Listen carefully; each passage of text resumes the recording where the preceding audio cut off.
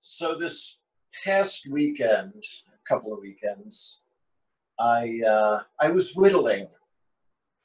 Now, if if you're not a Cub Scout or a seven-year-old American kid, or like an 80-year-old grandfather sitting on the porch, whittling is when you take a, a perfectly good piece of wood and you repeatedly hit it with a knife until it becomes a much smaller piece of wood circumference wise with less bark on it and things of that nature. So this is um, a Zen stick in, in process here. It's still a little raw on the ends. We haven't figured out quite how to do that yet.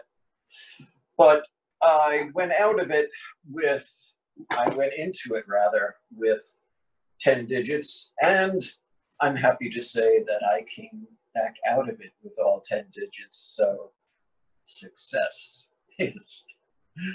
Uh, I would like to think that that would be an example of right mindfulness. Because as I said, I went in with 10 digits and I came back out with 10 digits.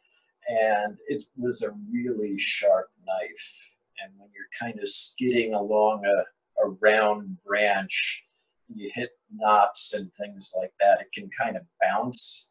So you have to pay really close attention. And of course, mindfulness is a, a big buzzword these days. In uh, a lot of cases, it's used in psychotherapy now. Dialectical behavioral therapy is one of them.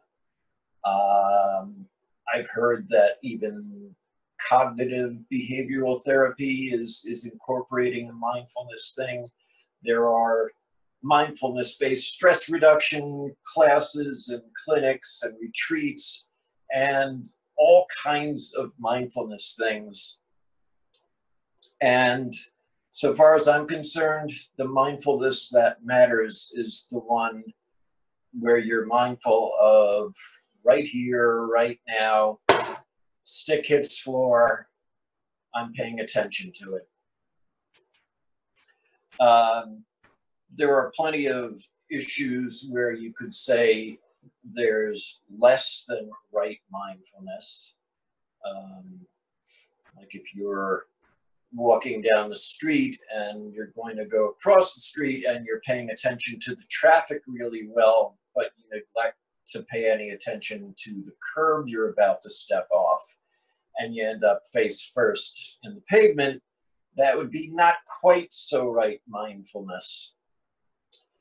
And then there is what you could call not right mindfulness at all, which would be I'm figuring that most um, mass murderers, for example, are probably very mindful when they're murdering. However, as to whether that would qualify as right mindfulness or correct mindfulness is uh, another matter for discussion. And the correlation between right and correct is an interesting one because there are a lot of uh, people who will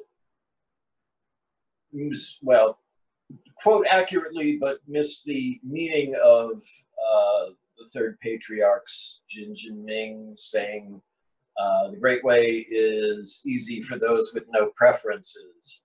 So no good, no bad, no right, no wrong. Uh, it's all good, so to speak.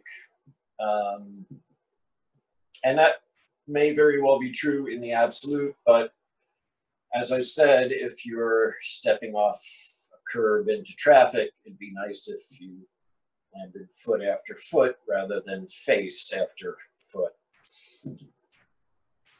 So, uh, Zen Master Seung Sahn has uh, some things about uh, the word correct.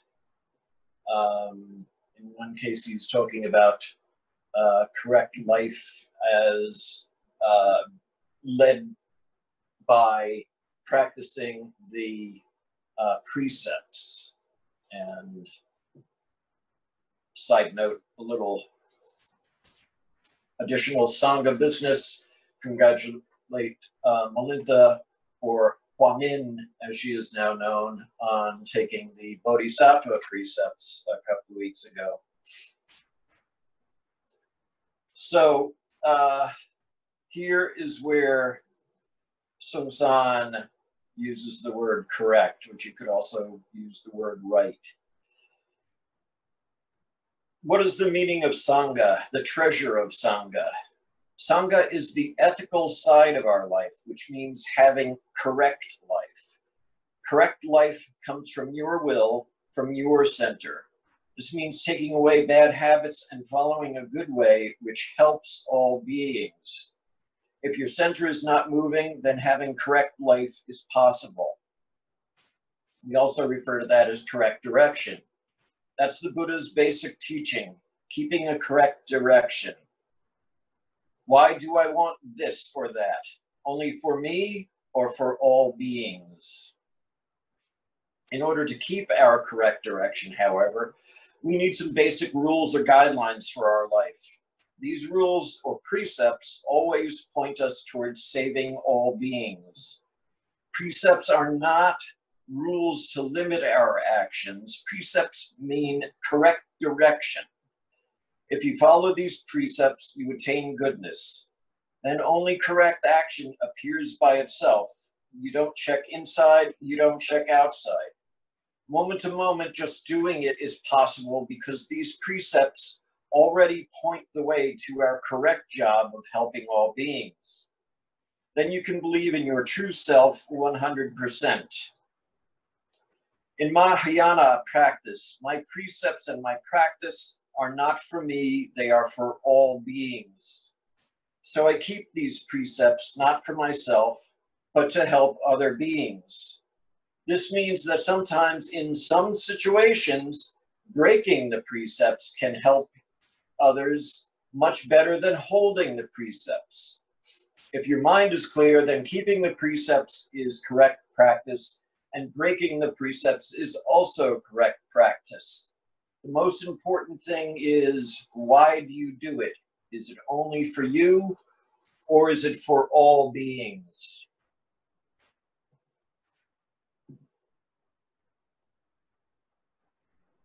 You're standing on that same street corner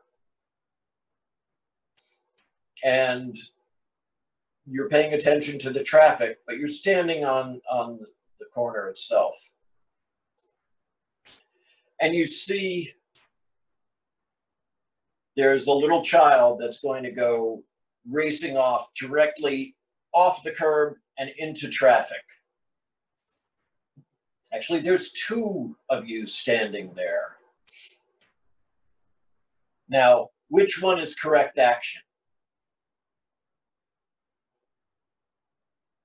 The monk who grabs hold of the little child and pulls her back in away from the traffic, or the monk who contemplates the not good, not bad, not correct, not incorrect, no life, no death, no birth,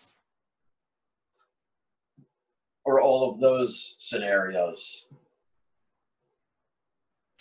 Correct direction, as Seung Sahn referred to it, is that action we take before we even think, that before thought moment where child is running in traffic, grab child back.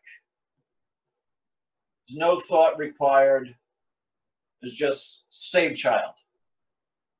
Grab. That same sort of before thought action is a guide to our true selves, our true nature, our Buddha nature. We don't have to contemplate Buddha nature. We don't have to even contemplate whether the precept is being broken or whether it's being kept. We don't need to do any of those things. when we act before thought in the mind of saving all beings, then we are performing correct action, we are performing Buddha action, we're performing Bodhisattva action, and that is correct action in that case. And with that, thank you.